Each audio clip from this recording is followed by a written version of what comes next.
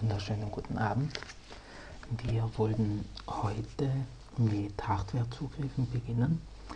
Und ja, solche Zugriffe, gell, das sind äh, ganz generell einfach Zugriffe auf Ein- und Ausgabe. Gell? Also wir können da also äh, ja, auf einen Baustein etwas schreiben oder eben der Hardware irgendetwas mitteilen oder von der Hardware etwas lesen. Gell? Das ist irgendwo Zugriff auf Hardware. Gell?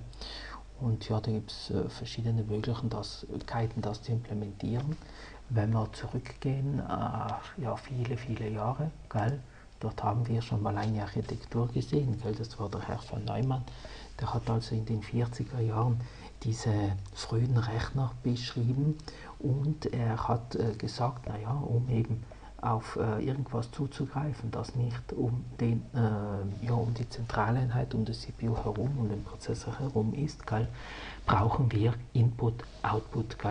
Und der hat ja nicht unterschieden, was es ist, sondern er ganz generell gesagt, Input, Output und Recht hat er damit gehabt, weil Input, Output kann alles Mögliche sein. Gell.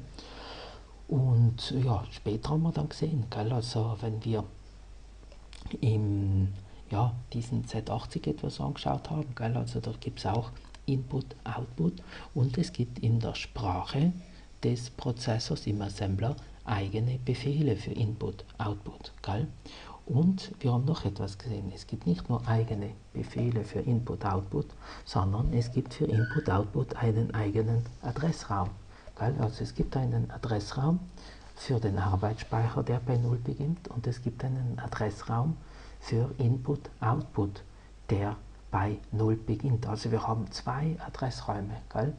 Und beim Z80 war das so, gell? da hat man einen äh, Adressraum für den Arbeitsspeicher gehabt, gell? da haben wir 16 Bit Adressen gehabt, also 64 Kilobyte für den Arbeitsspeicher. Gell?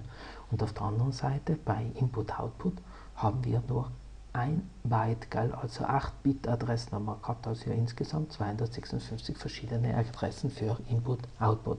Aber insgesamt haben wir 64 Kilobyte für Arbeitsspeicheradressen zur Verfügung gehabt, plus 256 Byte gell, für Input-Output-Adressen, also zwei Adressräume. Gell? Okay?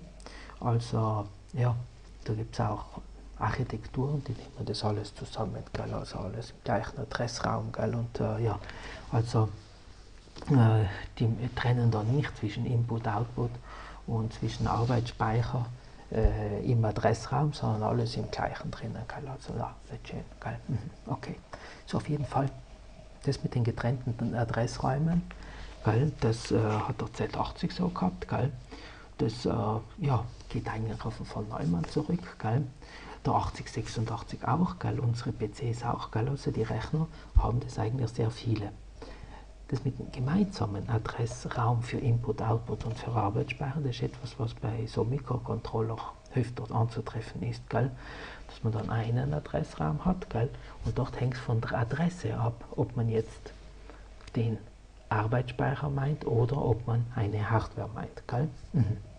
Aber es gibt noch ein Konzept, des äh, Speichers, den wir dann benutzen können, gemeinsam mit, äh, ja, also vom Prozessor und von einer anderen Hardware, geil, also geteilter Speicher nicht im Sinne der Interprozesskommunikation, die wir in DP gesehen haben, sondern also wirklich im Sinne, dass sich Hardware, verschiedene Hardware Speicher teilen, geil, also die CPU ihren Arbeitsspeicher mit einer anderen Hardware, geil.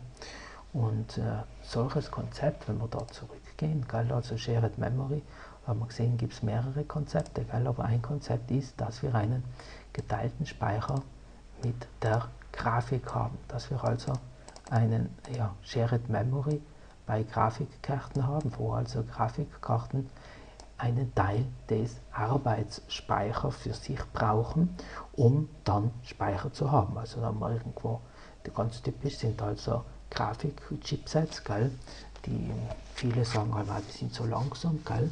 aber ja, die haben schon auch Vorteile. Gell? Also wenn man da nicht eine zusätzliche Karte irgendwo hat, die Grafik macht, gell? sondern man hat ein paar, äh, paar kleine Chips auf dem Motherboard und die benutzen dann den Arbeitsspeicher äh, auf dem Motherboard und haben nicht den eigenen Arbeitsspeicher, dann kostet es halt auch etwas weniger an Investitionen und vor allem auch kostet es auch weniger an Energie. Gell? Also man kann dann auch auf einiges ja, einsparen, was Energie betrifft. Gell? Okay, ja, das ist sehr häufig vielleicht nicht so wichtig, vor allem nicht, wenn es ja, Standalone-PCs sind und so, Wenn es mobile Geräte sind, dann macht es schon einen Unterschied, gell? ob man da ein paar mehr oder weniger Watt verbraucht. Gell? Mhm. Okay, so, also, jetzt unterscheiden wir mal grundsätzlich, gell? wir haben also Hardwarezugriffe über irgendwelches Input-Output, also so wie es der Herr von Neumann damals schon gesagt hat, gell?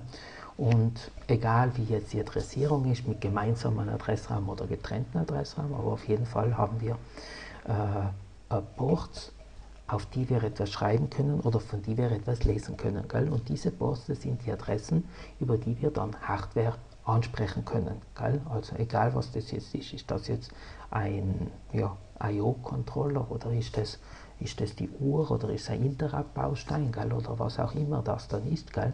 Es ist dann Hardware, die wir ansprechen. Und diese Hardware, weil die ist dann ja, definiert, gell, definiert, gell, also im Buch der Weisen der IBM, gell, also den PC äh, vor vielen Jahren veröffentlicht hat, hat sie aufgeschrieben, gell, äh, welche Ports äh, wo liegen gell, und wie die funktionieren. Gell, und hätte sie das nicht gemacht, dann hätte jede Architektur halt immer noch vielleicht eine andere Hardware mit anderen Funktionen. Gell? Mhm. Okay, auf jeden Fall Hardwarezugriff über Ports definiert im Buch der Weisen der IBM. Gell? Und das andere Konzept, gell, auch definiert, im, weil wir jetzt über IBM-PCs reden, gell, im Buch der Weisen, gell, gemeinsamen Speicher.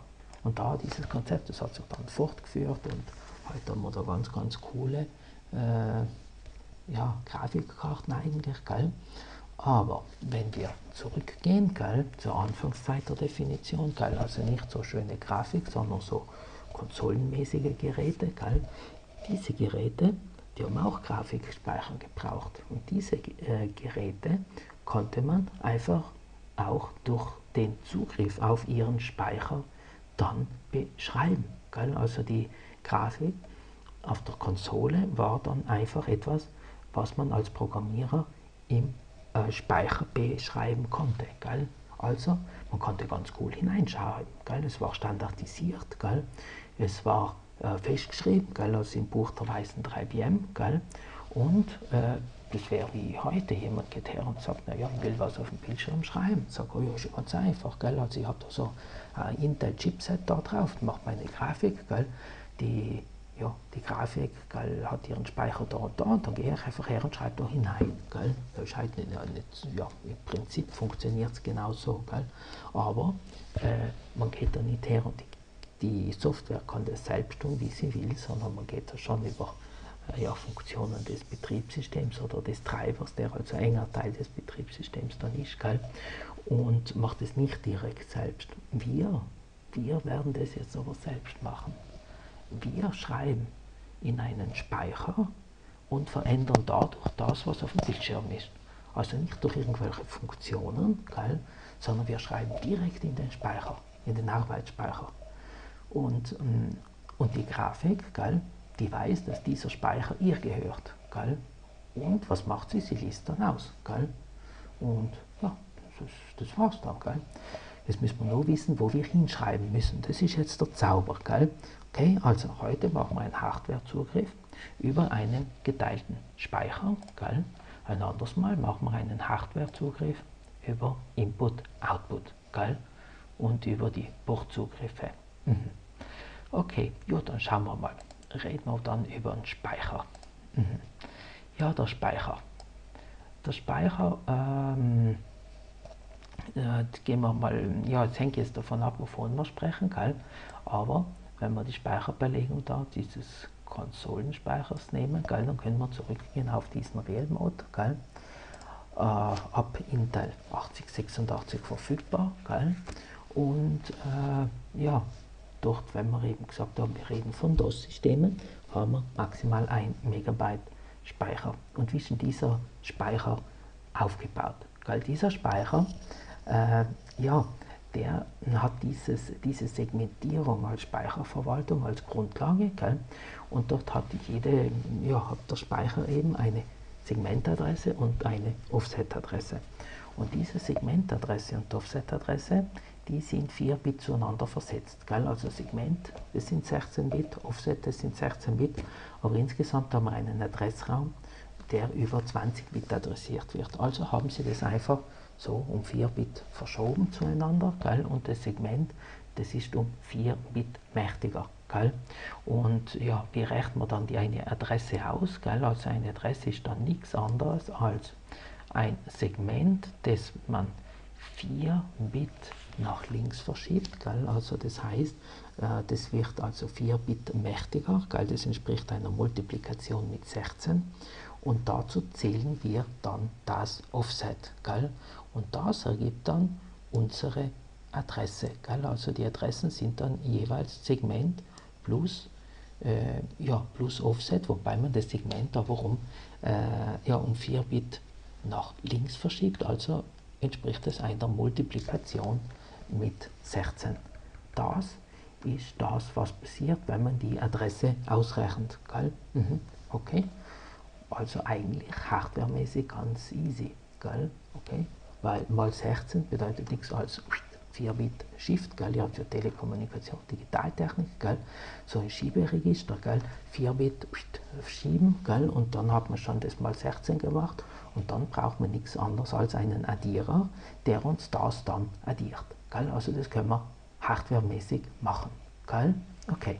Ja, und da, ja, die Schreibweise dazu, Schreibweise einer Adresse, gell, die ist auch so oft so Segmentteil und Offset-Datei, also die werden dann so angegeben, gell, äh, ja, mit oder ohne Klammer, gell, und in der Mitte halt einen Doppelpunkt, gell, und das Ganze so hexadezimal, gell, also 0x und dann äh, eben die vier Stellen hexadezimal fürs Segment und dann 0x und die vier Stellen hexadezimal fürs Offset, gell, also das ist dann eine äh, jo, eine 20-Bit-Adresse. Mhm. Ja, wie schaut die Speicherbelegung aus? Gell? Also ganz grob, da gibt es eine Tabelle der Speicherbelegungen und da interessieren uns jetzt, ja, also da am Anfang, gell, da ist die Interrupt-Vektor-Tabelle, also die Interrupts, das sind diese Unterbrechungen, da haben wir noch nicht darüber gesprochen, gell, aber ihr macht ja ereignisorientierte Programmierung, gell, so mit Java, gell, also das reagiert darauf, wenn jemand auf die Maus klickt, gell, also On-Button Click, gell? also On-Button Click, gell? das hat eine Hardware-Ursache gell? und die Hardware-Ursache, diese Unterbrechung, das Ereignis, gell? das kommt von einem Interrupt gell? und wie der ausgeführt wird, was dort passiert, wo diese Interrupt-Service-Routine dann liegt, das steht in der Interrupt-Vektor-Tabelle. Mhm.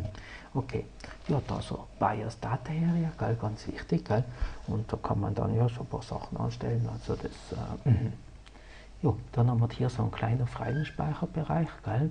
und dann man 512 Byte als des Bootsektors, gell? also der Bootsektor wird in den Speicher geladen, gell? und ja, das sind 512 Byte eben, gell? BIOS-Architektur. So, und dann kommt ein Speicherbereich, da steht einfach Free Memory, gell? aber dieses Free Memory, das startet eben hier und das geht dann hoch, gell? das geht hoch bis 0xa000. Das ist ein sehr, sehr großer Speicherbereich. Und das ist der Speicherbereich, in dem wir dann halt auch Daten und Programme liegen haben. Gell? Okay. Und ja, und dann haben wir hier, was haben wir am Ende noch? Am Ende haben wir dann 0xa000. Ab hier haben wir 64 Kilobyte, das ist Grafikspeicher. Hm. Gell? Es hat schon auch zur Anfangszeit Grafikmode gegeben. Gell? Okay, da hat so CGA oder EGA oder VGA war es dann, weil VGA ist heute noch ein Begriff, gell? Und diese 64 Kilobyte, das war dann der Speicher dafür, gell? Mhm. Konnte theoretisch auf einen grafischen Bildschirmspeicher äh, Speicher zugreifen, indem man hier hineingegriffen hat, gell? Das war schon ein bisschen komplizierter. Aber es hat zwei Speicherbereiche gegeben, ab 0xb000 und 0xb800. Das waren die Speicherbereiche jeweils 32 Kilobyte für die Konsole. Gell? Und zwar der erste Bereich für die monochrome Konsole, gell, also so die, die grün flimmernden Konsolen gell, waren die berühmten und dann später hat es so bernsteinfarbene, die so gelb-orange ausgeschaut hat, gegeben. Gell. Diese Speicherbereiche hat man ab 0xb000 beschrieben, gell, oder die, die eben äh, ja, die Konsolen, die auch Farben haben können, die was dann später normal geworden sind. Und wenn man heute eine Konsole hat, dann ist es meistens eine Konsole, die auch Farbe kennt. Gell? Also die ja, äh, hat den Speicher ab 0xb800 gehabt. Gell? Also immer Segmentadressen, dieser erste Teil der Adresse. Gell? Und dieser Bereich ab 0xb800 ist der Bereich, der uns dann interessiert. Dort werden wir was hineinschreiben und das, was wir hineinschreiben in den Speicher, gell, das erscheint dann auf unserem Bildschirm, gell? Mhm. auf dem Konsolenbildschirm. Gell? Okay, ja, und das, gell, das da, das ist eben dieses Konzept des Shared Memories, gell, also des geteilten Speichers. Gell? Also wir haben einen Arbeitsspeicher und ja, unter Windows oder Linux können wir nicht einfach so hineinschreiben, gell? also dort äh, ist dann ein Kernel, der sagt, aufpassen, gell? aber auf einem DOS-System können wir einfach hergehen und da mal hineinschreiben, gell? also da niemand hindert uns daran, gell? also das DOS hat nichts dagegen, gell? sagt er, ist selber schuld, gell? Okay? wenn nachher etwas nicht geht, gell? okay, also dürfen wir es probieren. Gell? Mhm. Ja, dann gehen wir das mal anschauen, wie das da funktioniert mit so einem Grafikspeicher. Gell? Und zwar, wenn wir den Bildschirm haben, den Konsolenbildschirm, gell? der ist da aufgebaut, gell? so in Zeilen und in Spalten. Gell? Und, äh, ja, und die Konsole, die ist wie definiert? Die ist definiert mit 24 Zeilen und 80 Spalten. Gell? Also wenn wir da hineinschreiben wollen, das sind 24 Zeilen. Gell? Mhm. Und wir haben 80 Spalten. Gell? So ist das aufgebaut. Ja, und, und wo beginnt es? Also da, wenn man x, y so angeben will, gell? als x so viel gell? auf x und y gell? so viel auf y, gell? dann muss man was machen da muss man wissen, okay, also links oben auf dem Bildschirm in der Ecke, dort haben wir 0, 0, gell? also 0x und 0y. Und wenn wir dann weitergehen, gell, dann haben wir drunter, hätten wir dann, was haben wir drunter? Drunter haben wir wieder 0x und 1y. Gell? Also wenn wir es dort hineinschreiben wollen, gell, das ist 0 x und 1y. Gell? Das wäre die, die Adresse, also der äh, in der zweiten Zeile gell, und in der ersten Spalte. Gell, okay. Und was haben wir am Ende? Am Ende haben wir also 0x24. Gell, und wenn wir dann bis ans Ende gehen, gell, ganz rechts haben wir dann ja, 79 und 24. Gell. Okay, also ja, für uns Informatiker gell, kein Problem. Die Adressierung beginnt bei 0. Mhm. Ja, jetzt äh, was ist denn, wie ist denn der Speicher dort organisiert? Der Speicher, der geht zeilenweise. Gell? Das heißt also, äh, die erste Speicheradresse, wenn wir hier diesen Color Text Mode haben, ist bei 0xb800 gell, mal 16 plus 0. Gell? Also, okay, also Umrechnung da gell, von das immer in Erinnerung halten. Die Adresse wird ausgerechnet aus Segment mal 16 plus Offset. Gell? Mhm. Okay, so, also Segment gell, ist 0xb800 mal 16 bedeutet eine hexadezimale 0 dazu plus 0, also was kommt denn raus? Diese Adresse gell, ist 0xb800 und dann noch eine 0. Gell? Okay? Und damit haben wir die Startadresse für, unseren, äh, für unsere Farbkonsole. Gell? Okay, ja. Und was ist denn an dieser ersten Zeile drinnen. In dieser ersten Stelle ist der Inhalt drin des Zeichens. Gell? Und speichern, ja, gespeichert wird dann äh, das, äh, die Position des Zeichens in der Zeichentabelle. Gell? Okay, wir so eine erste Tabelle haben, gell? wir wollen 65 aufschreiben. Gell? Was ist denn 65? 65 ist das große A. Gell? Okay, wollen wir das große A schreiben, dann müssen wir an der Adresse 0xb800 noch eine 0. An diese Adresse, gell, die müssen wir dereferenzieren, dann haben wir Zugriff darauf und dort müssen wir das müssen wir 65 hineinschreiben. Dann wird links oben ein A erscheinen. Okay? Also, das da ist dann äh, der Inhalt. Und gleich in der nächsten Stelle, also 0xb800, 1, gell? also gleich in der nächsten Stelle, steht ein Attribut. Und zwar das Attribut, gell? das sagt uns, wie das A ausschauen wird. Gell? Ob das ein schönes A wird gell? Oder, oder ein blaues A oder ein grünes A. Gell? Also, ja. Gell? Also Montag ist vielleicht ein bisschen blau. Gell? Mhm. Gell? Oder ja, ich weiß ja nicht, wie das auch sein wird. Gell? Okay?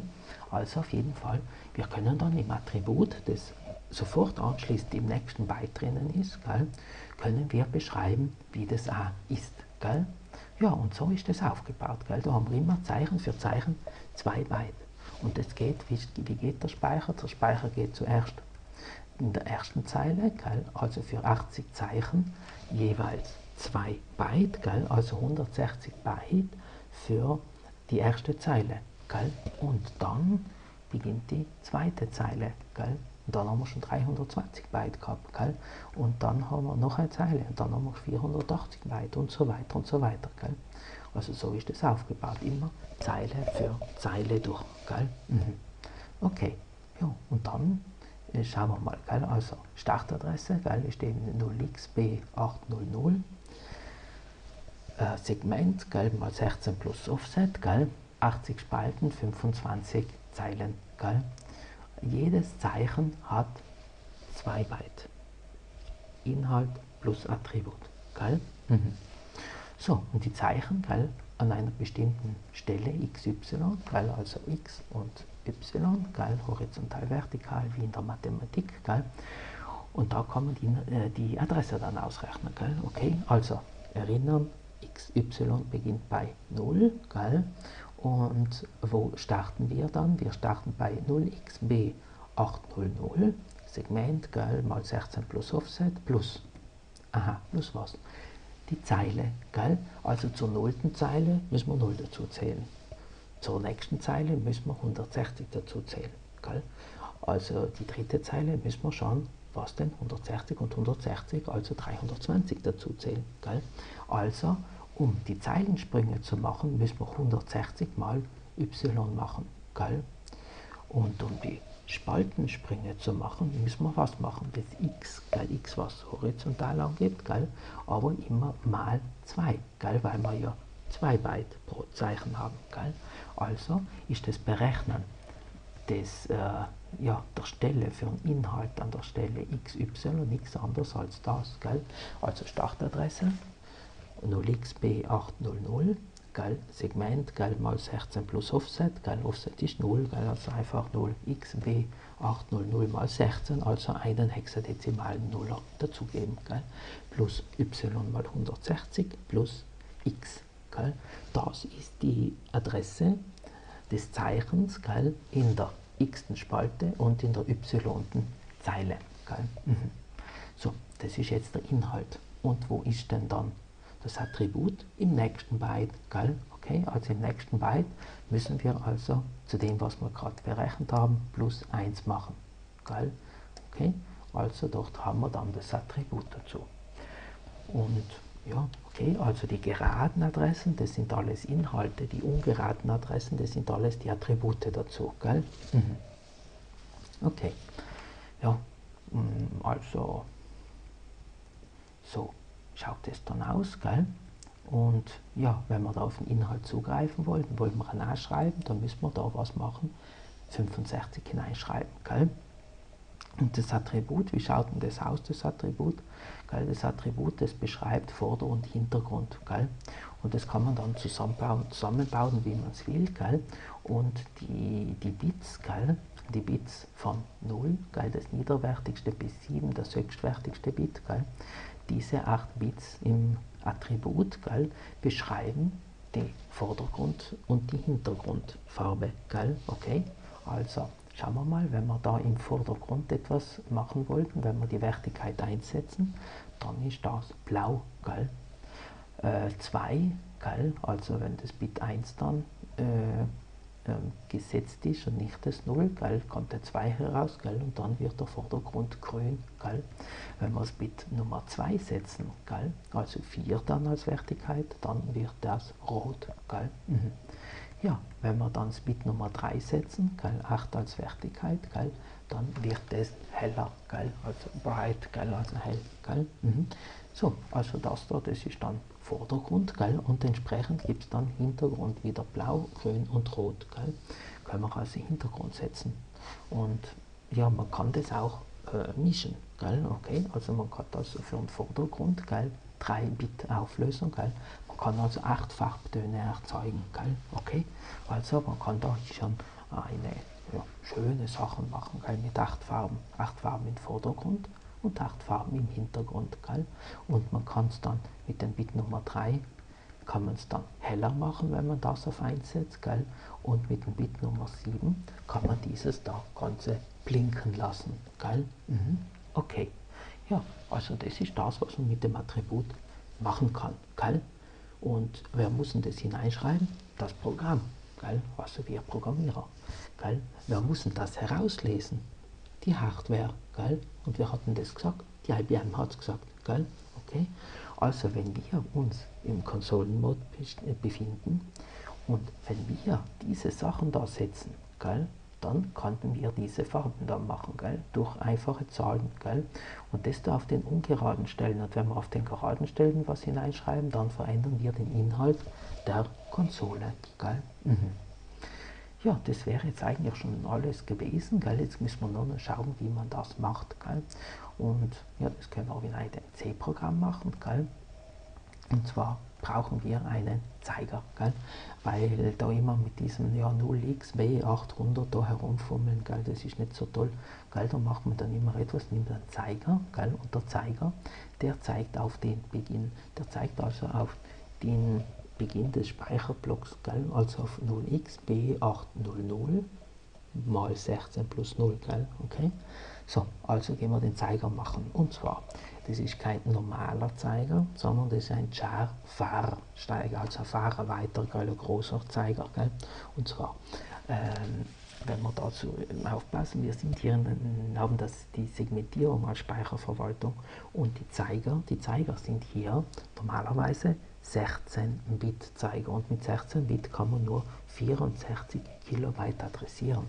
Geil, aber 64 Kilobyte ist zu wenig. Geil. Wir brauchen mehr, wir müssen den absoluten, die absolute Adresse angeben und das dann auch mit einem Fahrzeiger. Also char Fahr Stern Z das ist unser Zeiger für den Bildschirm. Wir könnten auch Bildschirm sagen, geil, ist dann egal.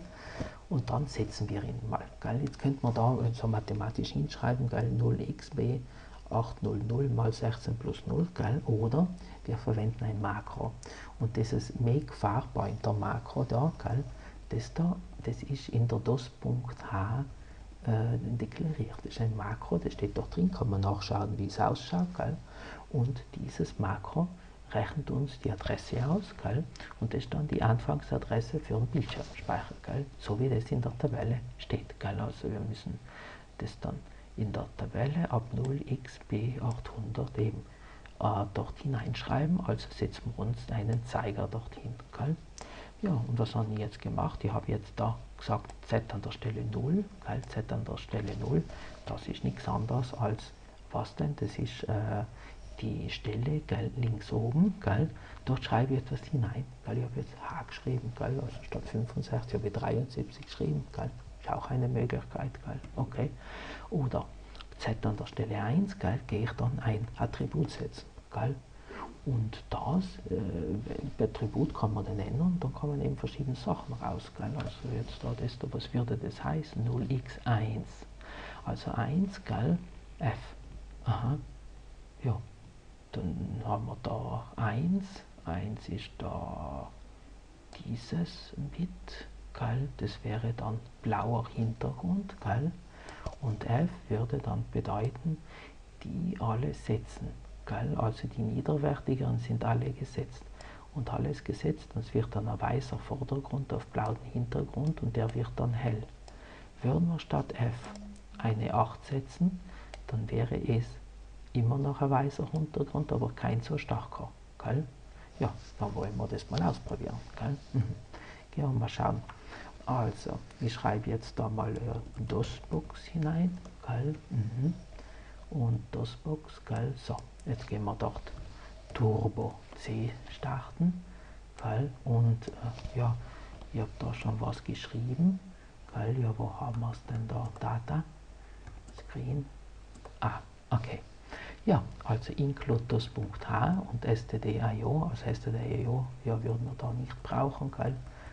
Ah doch, getchar ganz am Ende. Mhm. Also einfach nur auf eine Eingabe warten.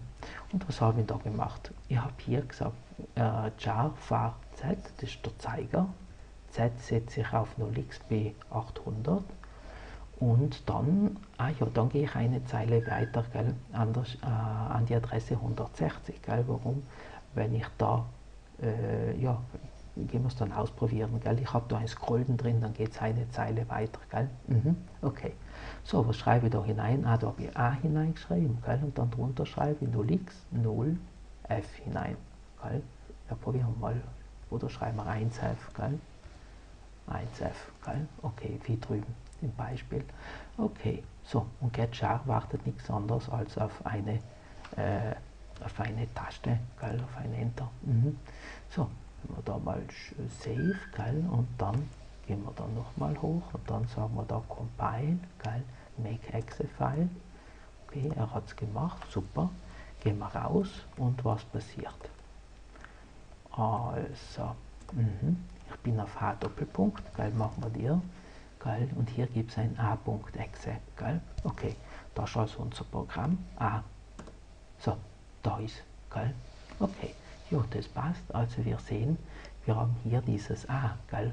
helles Weiß auf blauem Hintergrund. Gell? Okay, das äh, ja, hat funktioniert. Gell? Ja, also ich würde das jetzt mal ausprobieren. Gell?